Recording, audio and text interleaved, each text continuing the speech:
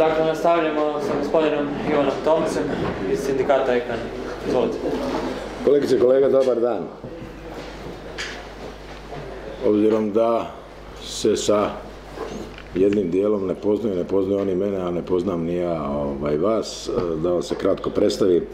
Ivan Tomac, predsjednik sindikata energetike kemije nemetala Hrvatske iz Saveza samostalnih sindikata Hrvatske, 63,5 godine, 44 godine staža, po zanimanju sam visoko kvalificirani radnik metalske struke glodač, dolazim iz Kutine, gdje sam do 96. godine bio glavni sindikalni povjerenik, odnosno prije toga predsjednik konferencije sindikata Petrokemije, pamtim sindikat iz vremena jednoumlja i pamtim sindikat i radim u sindikatu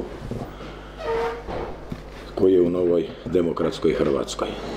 Koje su moje reference i zašto sam se uopće usudio da dođem pred ovakav skup govoriti. Najprije nema namjeru nikome nametati svoje mišljenje, za nikoga za ništa animirat, nikome ništa tvrditi ili ga ubjeđivati, nego mislim da temeljem upravo svojih godina i sindikalnog iskustva mogu prenesti neka svoja razmišljanja. Znači, predsjednik sam ovog sindikata od 96. godine kroz pet kongresa tajnim glasovanjem izabran. A sad kad poslušate ove podatke, onda ćete mi reći, a te drži tolike godine, zašto si ti uopće predsjednik tog sindikata? Naime, u tom vremenu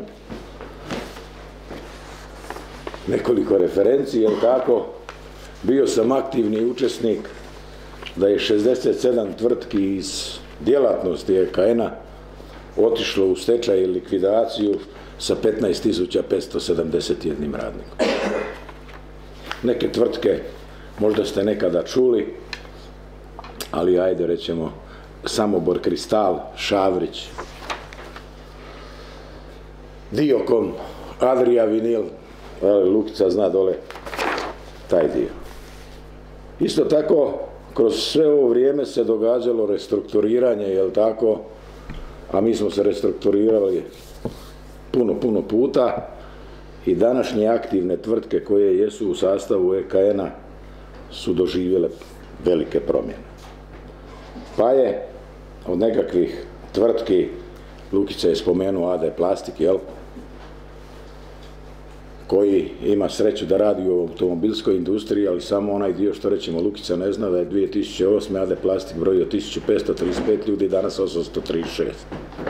Da su bili viškovi, da je bilo smanjivanje plaća, svašta je bilo što smo radili. Ali evo, tih tvrtki AD Plastik, Aluflex, Pak, Šot, pa onda Jana Fina, između ostaloga Dina, Oki, ovaj sustav koji jest u problemima gdje je kolega Bojan, 28 tvrtki je prije privatizacije, restrukturiranja, a uzao sam godinu 2000 zapošljavao 35.929 radnika, danas ih zapošljava 18.192.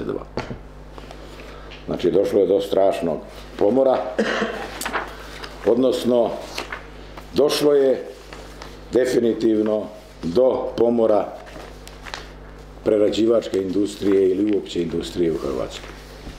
Moj kolega Varga, on je jedini ostatak od Prvomajske koja je nekada brojila 5000 ljudi. Jedina tvrtka koja je ostala od Prvomajske je Itas Ivanec. Ovoga ostalog nema, sad tamo ima Stanić, svoja nekakva skladišta, mesnu industriju, nema tamo ni TPK koji je bio, jel tako, ostao je sa istočno ovaj, Elka, jel tako, amo je ostao dio od končara kućanskih aparata, ono što još danas radi. I zašto je moj motiv da govorim? Motiv je upravo temeljem zadnje upisane stvari da je vrijeme da mi uzmemo stvari u svoje ruke.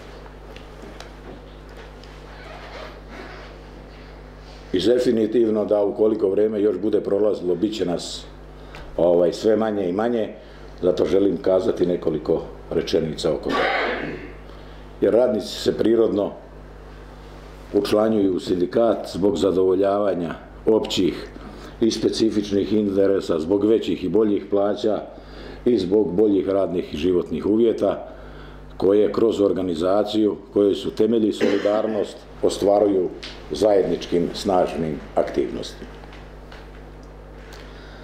Pretpostavka je za to da moramo imati snažne neovisne sindikate i brojno članstvo.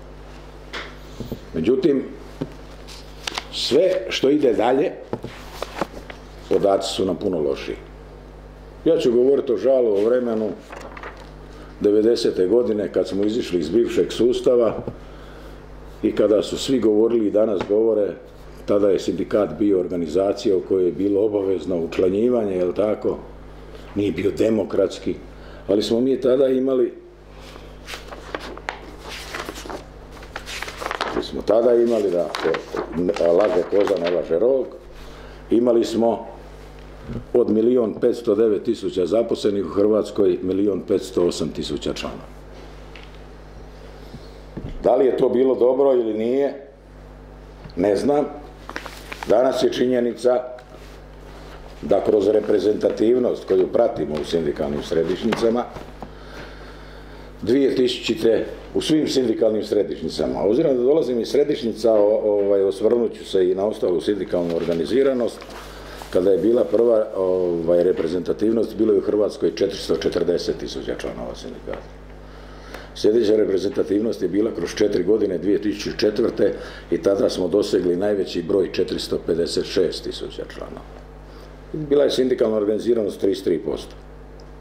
2008. 423, a 2010. 394.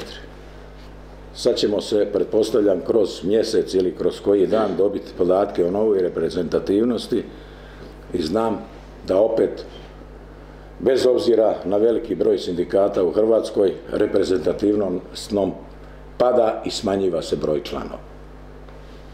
Sindikat EKN-a inače djeluje u 96 trgovačkih društava u kojima je zaposleno 27 tisuća radnika, mi ih organiziramo 8464, 31%. Nismo sami jer tu smo zajedno i sa drugim kolegama, uglavnom sa kolegama iz Hrvatske udruge sindikata, a djelomično i sa kolegama iz nezavisnih hrvatskih sindikata. Ali ukupna učlanjenost u Hrvatskoj je u ovome trenutku negdje oko 28%. Da ne govorimo koliko je u toj cijeloj situaciji narušen odnos onih koji bi trebali dati, jel tako, ovaj, e, potporu ili biti naša logistička potpora u sindikalnom djelovanju i radu. Mislim da je kolega koji je otišao postavio pitanje da bi mi trebali pisati zakone, proaktivno ovaj, sudjelovati u radu vlade, jel tako? Nažalost, mi nemamo resursa da bi taj dio radili, jer sindikalne središnjice, a nekada je Siniša to vrlo dobro zna, Savez samostalnih sindikata Hrvatske ima preko 800 zaposlenih, samo je famozni peti kat sa strukom, sa ljudima različitih profila imao preko 110 ljudi koji su cijelu priču obrađivali i davali sindikalnim povjerenicima i predsjednicima sindikata ovaj, logistiku za nastup u javnosti prema poslodavcima, odnosno prema vladama koje su tu bile. I sad dolazimo do ovaj, pozicije da i kroz ovaj dio radničke borbe koju neosporno da treba dalje promovirati i učestvovati svim srcem u tom, sa svim znanjem što se ima da bi se situacija promijenila, ali je činjenica, a to je i ovdje danas bilo vidljivo, da imamo problema u definiranju naših općih interesa, jel tako, kroz bolje radno i socijalno zakonodavstvo, počevši od mirovinskog zakona, pa i zakona o radničkom dioničarstvu, da ne govorim zakona o radu, ali isto tako uvažavanje specifičnih interesa članova sindikata i radnika u pojedinim tvrtkama. Iz poziva sam vidio da su na ovome sastanku prisutni kolegice i kolege iz sindikata ili tvrtki koje jesu u pretežisto državnom vlasništvu. A prezentiraju se iskustva kolegica i kolega iz određenih tvrtki koje su prošle stečajeve, radničko dioničarstvo, borbu za protiv privatizacije, za privatizaciju. I tu sad jedan postoji problem da bi trebali definirati koje je uopće naše okruženje u kojem mi djelujemo, koji je to broj tvrtki i koji je to broj ljudi. Naime, imao sam sreću ili nesreću da sam u listopadu prošle godine, a i prekjuče, odnosno u petak, bio na sastanku sindikata i uprava tvrtki u pretežito državnom vlasništvu na kojima nisam vidio svoje kolege iz sindikata Tehnos, Matka i Denisa, iz razloga što je taj sastanak organizirao ali nezavisni hrvatski sindikati samo za 25 tvrtki. Nije istina za 25 tvrtki jer u državnom portfelju na tri popisa, a to su tvrtke od posebnog državnog interesa, jel tako, to su ovaj, e, tvrtke koje egzistiraju kao javna poduzeća i državni portfelj ima 89 tvrtki sa gotovo 72 tisuće zaposlenih.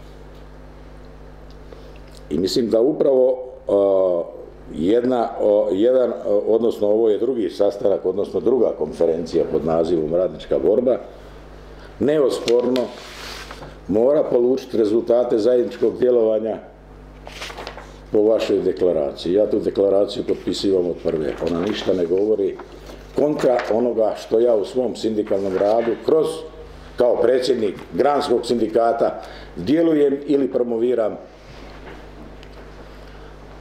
sa svojim kolegama sa kojima radim.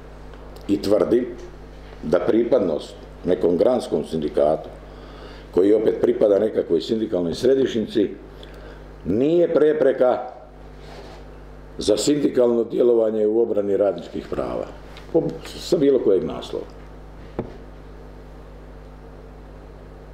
Ali, u ostvarivanju općih interesa i specifičnih interesa mi nemamo nikakve veze. Da oprostite kao kolege, kao prijatelji u nekakvim aktivnostima, prosvjedima koji se tiču Ovaj, a neću nikada, čini mi se, otići u penziju iduće godine, a neću doživjeti da pokušamo organizirati generalni štrajk u Hrvatskoj, a možemo ga organizirati. Nemam vas jer niste u našem korpusu. Niti vas ko poziva, a sami kad dođete, dođete, jel tako, ovaj, više kao građani dajete potporu svojim kolegama. Ali isto kada i vi organizirate vaše aktivnosti specifične, unutar tvrtki koje treba obraniti od vučije privatizacije, ovaj, od kršenja radničkih prava i u procesima kolektivnih pregovora, ni vi nemate pravu pomoć, niti ste zbog toga što ste što smo svako u svome dvorištu ovaj, jesmo bliski, ali smo jako, jako daleko. I mislim da tu pronaći, moramo pronaći model i način da ovo malo što nas je ostalo u ovome sindikalnom pokretu u Hrvatskoj skupimo na hrpu i pokušamo zajednički djelovati, obraniti se, jel, od vlasti socijaldemokracije koja je sad trenutno, ali tako je svejedna koja je lijeva ili desna, prazna vreća ne stoji, vreća je ispražnjena i definitivno da moramo ovaj, razmišljati na potpuno drugi način. Ja se sjećam davnih godina, pa i 98. u kojoj sam aktivni učesnik, vezano za privatizaciju Petrokemije, da je tada, jel, Boro Škegro, čuveni PDV, rekao jednu rečenicu koju ja i danas ponavljam i tvrdim da je istinita. Da je to možda posljednja vlada sa kojom hrvatski sindikati ili radnici imaju socijalni dijalog. Dijaloga danas u Hrvatskoj nema zato što je iz knjiga naučeno i Europa je rekla da postoji nekakav dijalog između vlade, poslodavaca i sindikata, tripartitni, u firmama bipartitni, ali ovi koji su danas na vlasti Oni nikada nisu bili u prilici, niti su radili takav posao, da su morali voditi dijalog ili da su se morali dogovarati kako će neke stvari izići. Ako tome dodamo problem čelnika pet sindikalnih središnjica, za koje je veći događaj ako se oko nečega slože, nego ako se ne slože, jer se uglavnom ne slažu oko ničega, onda imamo ono što imamo. I činjenica je da smo mi prošle godine na inicijativu kolega iz Petrokemije po prvi put, ako sam vam rekao da sam ja od 96. i u predsjedništvu i da sam trenutno na nekakvoj poziciji potpredsjednika za gospodarstvo, onda je moj motiv bio daj da skupim na jedno mjesto ljude, jer kod mene je činjenica ili se tako kod mene u lici govori da bi nekoga dobro upoznao u životu moraš pojesti najmanje kilo soli. Kilu soli pojesti sa nekim u životu i znadete da je to jako, jako puno. Priuštio sam po prvi put i sebi zadovoljstvo, a i kolegama priliku da pojedu 5 deka soli. Imali smo tri sata sastanak na kojem smo se dogovorili sve da ćemo samo ići sa tezom dosta je uništavanja Hrvatske kao socijalne države. Proizišlo je iz našeg sastanka da smo se jedino oko toga dogovorili i da ćemo od sutra problem bilo koje tvrtke u Hrvatskoj staviti na stol i to će biti zajednički problem svih pet sindikalnih središnjica. Jer je činjenica da predsjednici pet sindikalnih središnjica kad zajedno nastupaju, njihovo razmišljanje, njihova poruka ima svoju snagu. Ali dogodilo se kao što se događa i dan danas, kao što će se događati u budućnosti, da je važnije dvije minute ili pet minuta medijske slave, pojavljivanja na bilo kojeme od programa koje imamo na hrvatskoj televizijskoj sceni, bilo kojim novinama, nego cilj i interes. I upravo ta želja za postizanjem nužne solidarnosti meni daje nadu da sam ja u svojim razmišljanjima ispravan kao čovjek i kao sindikalac, učestvujući, slušajući i raspravljajući zajedno s vama na današnjem sastanku kako da dođemo do te nužne sinergije djelovanja ovog sitnog, malog sindikalnog pokreta u Hrvatskoj. Ono što se događa u Hrvatskoj je definitivno da će imat i ima ovaj, svoje, kako se to kaže, implikacije na naše okruženje, jel? jer sve što je došlo sa zapada, od Slovenije do Hrvatske, dalje prema istoku se reflektira sa još većim problemima, jel tako, jer su doradili sisteme i modele kroz manja prava, kroz daljnje probleme koji se u toj cijele priči pojavljivaju. Ono što je mene e, e, dodatno motivira u priči oko sprečavanja privatizacije su iskustva koje imamo iz privatizacije INE. A predstoji nam po ulasku u Europsku uniju vrlo oštri razgovori ili vrlo oštri rezovi u preostalom dijelu hrvatskih javnih poduzeća. U prvom redu u Hrvatskoj elektroprivredi. Ali to nije samo cijena kilovata nego je pitanja nečega što je opće dobro. Električna energija proizvedena ovaj, e, da, e, na, sa vodenim jel tako, potencijalom, sa vjetropotencijalom, sa ugljenom, je pitanje općeg dobra. Nije pitanje vlasništva ni Hrvatske države, ni RVI-a, ni Hrvatske elektroprivrede, nego je nešto šta, što u ovoj je zemlji stvoreno iz ove zemlje izašlo. Isto tako se radi po pitanju INE, gdje smo naše bogatstvo jel, prodali, čini mi se, zabud zašto, a INA nije samo vlasnik sirove nafte, nije vlasnik plina, ona je vlasnik izvora, nalazišta, vode i bogatstva koje treba svima služiti. Ista će situacija biti sa hrvatskim šumama, sa hrvatskim vodama. I tu definitivno moramo onaj dio, jel tako, specifičnih interesa radnika svake firme, da rade i da imaju radno mjesto, staviti isto tako u kontekst općeg interesa svih građana Hrvatske. Nažalost, e, i na ovome sastanku kojega smo imali prekjučer, kojega je sazvao ministar Mrsić, gdje su još bili prisutni Hajdaš Dončić, Jakovina i Leverić, pomoćnik od Vrdoljaka, i direktori pojedinih tvrtki od tih 25 koji su u državnom vlasništvu, svodio se na to da su sindikalni predstavnici iznosili probleme u, koji se javljaju u ostvarivanju prava iz kolektivnog ugovora, jel? A onda je Mrsić prozvao direktore da se i oni uključe u diskusiju, da kažu koje oni probleme imaju. On se ga pitao, a kako ti misliš da ti oni kritiziraju, a ti si ga zaposlio, pa ćeš ga sutra dan smijeniti. Tome neće razgovarati, niti će on na takav način razgovarati, nego će normalno slušati. A za mene je puno interesantnija stvar da protresemo, ali svi zajednički. Najavu u HEP od prošle godine je 4,5 tisuće viška, u hrvatskim šumama 3000 viška, u hrvatskim cestama 2000 viška.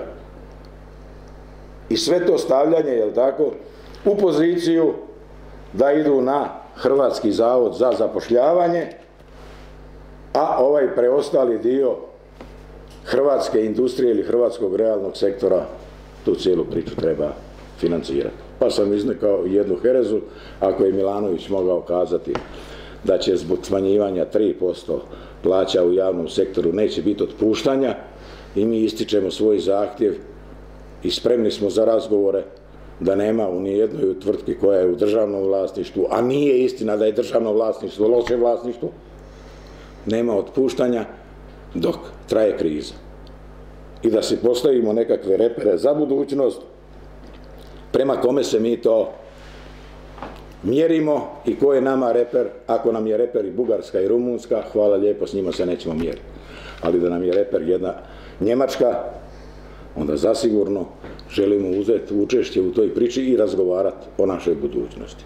Ali, da bi mogli razgovarati o budućnosti, definitivno da moramo vrlo, vrlo ozbiljno porazgovarati što mi to svi skupa zajednički možemo napraviti. Sav potencijal kojega imamo i financijski, i umni, i stručni da stavimo na hrpu, da pokušamo ovaj, utvrditi dijagnozu i odrediti terapiju.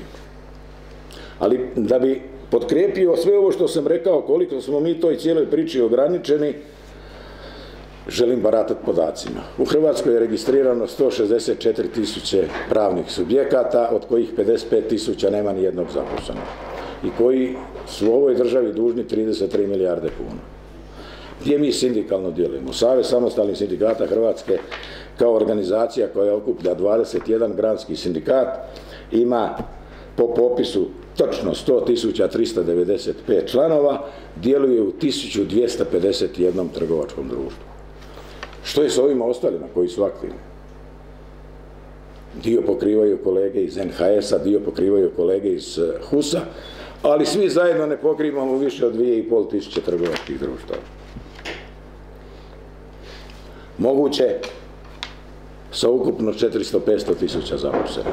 A što je sa ostalim zaposlenim radnicima? Što je sa njihovim pravima?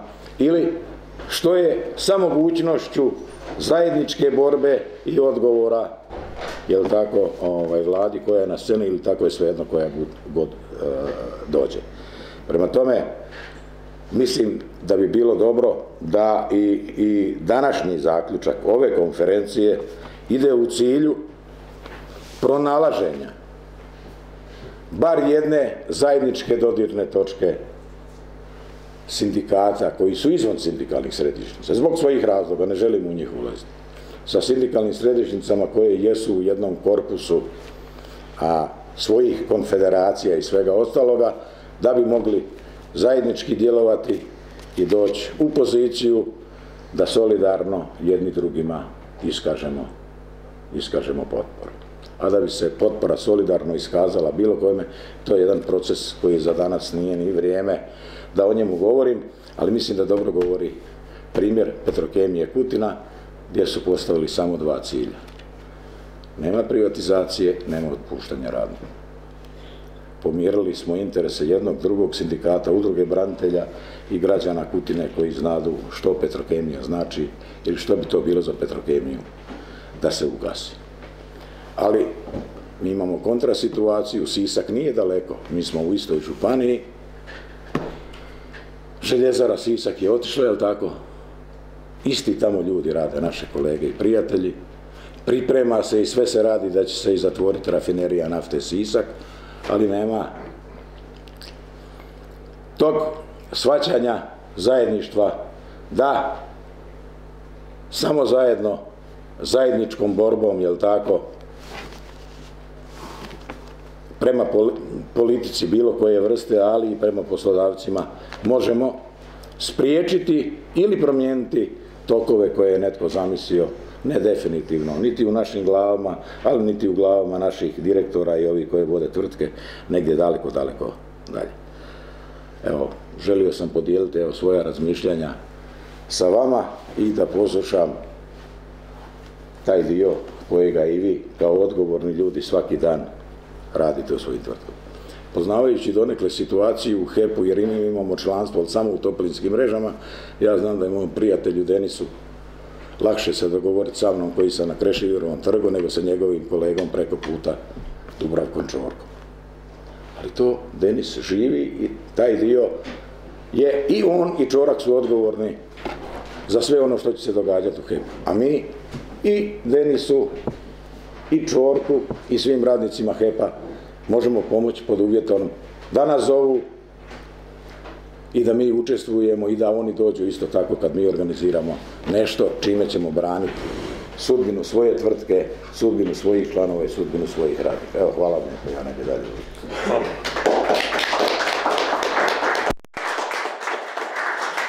Dakle, pitanje, molim vas. Pitanje ovo, jedno sa početka, kad ste govorili o reprezentativnosti, odnosno vjerujem da ste tu smatrali broj na broj članova.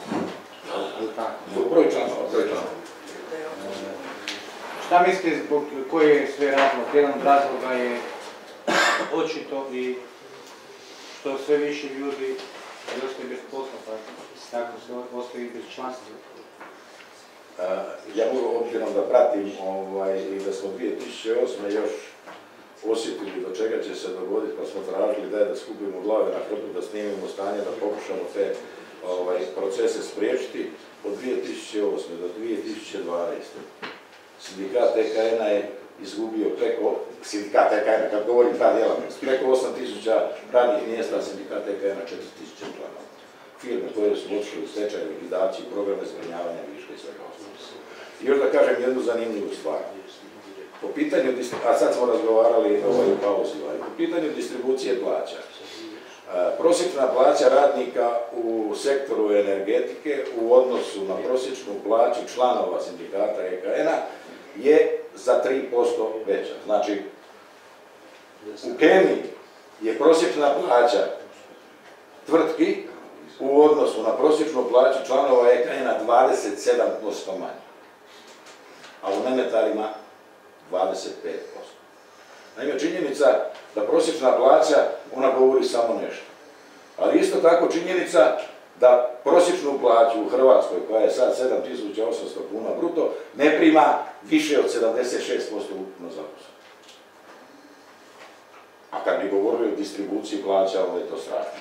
Jer je zadnji podatak da oni koji imaju preko 8000 kuna u Hrvatskoj od ukupno zaposlenih i 100 tisuća od ukupno milijun 307 tisuća ovaj, zaposlenih koji jesu sad.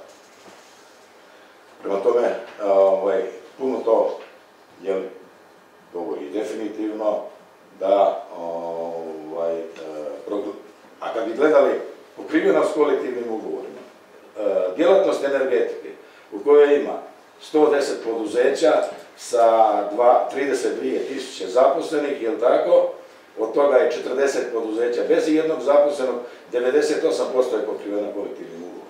Ali tu su INA i HEP koji su gotovo 80% ovaj, cijele, cijelog energetskog sektora u Hrvatskoj. U kemiji je 48% tvrtki pokriveno s kolektivnim ugovorom. U nemetalima 68%. Znači imaju kolektivni ugovor i svašta smo kroz ovo vrijeme ovaj, radili, ali ti znaš tu je bio živ, da ste i vi isto i smanjivali plaće i sve ostalo samo da bi preživili.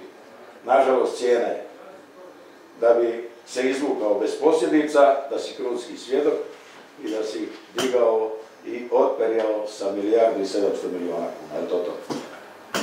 Da dalje ne zavaram kolege. E, kako, možeš spomenuti, kako vaše mišljenje o obveznom, obveznom članstvu sindikata?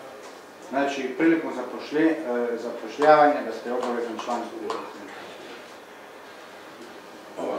Ja sam rekao podatak e, tamo iz 90. godina kad su tvrdili da je ovaj, članstvo u sindikatima obavezno. Kad pratite te podatke, e, članstvo nije prelazilo 94%. Znači ipak je bilo 6% koji je u tom tvrdom sustavu nisu bili članovi sindikata. Isto tako znam da što je nama a, najveći sindikalni ovaj, problem, da sve ono što mi ispregovaramo u kolektivnim ugovorima određena prava temeljem zabrane diskriminacije konzumiraju i oni koji nisu članovi.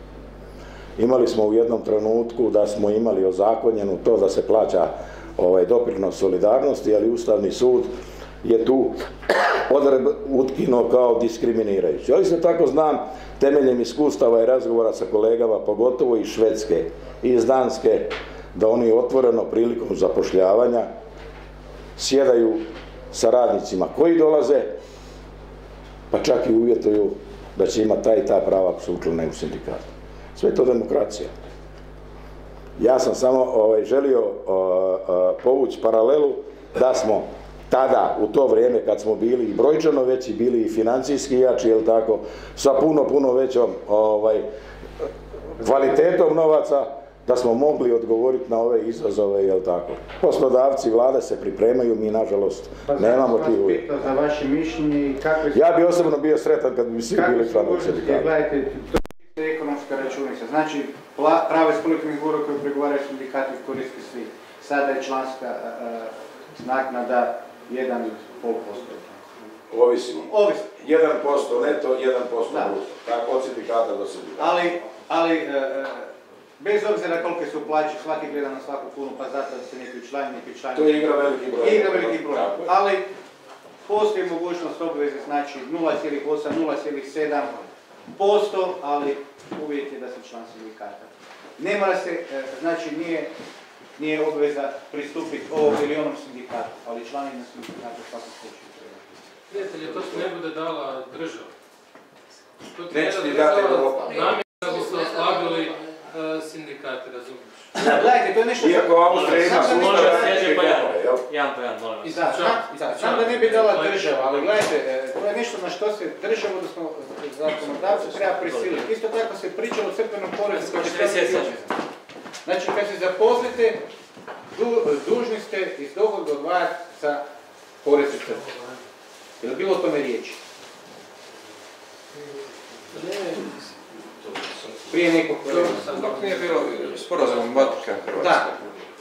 Znači, to je nešto o čemu bi se trebalo raditi. e, Svi, e, svi bi nekakva prava konzumirali, konzumirali, a ne bi u tome sudjelovali. E, Jaki sindikat mora biti, slažem, ali... mora biti i financijski. Stvari u tome, znači, e, postavimo, postavimo stvari na mjesto. Znači, e, budimo realni. Sudovi su od države. Država to ne želi dati sindikatima, jer na taj način, kao što si ti rekao, s tim slažem. Ako ja ispregovaram za nekoga neko pravo, onda onaj moj član ima pravo na to. Ako nije moj član, nema pravo na to. Ja se s tim slažem. Ali na taj način bi sindikati postali enormno jaki, a to državi ne paše. Moguće. Šta, treba naći način da se za to izbori. Model. Da. Gospodine imate još nešto dodati na kraju? Hvala, ništa, hvala lijepo, ja sam ovaj,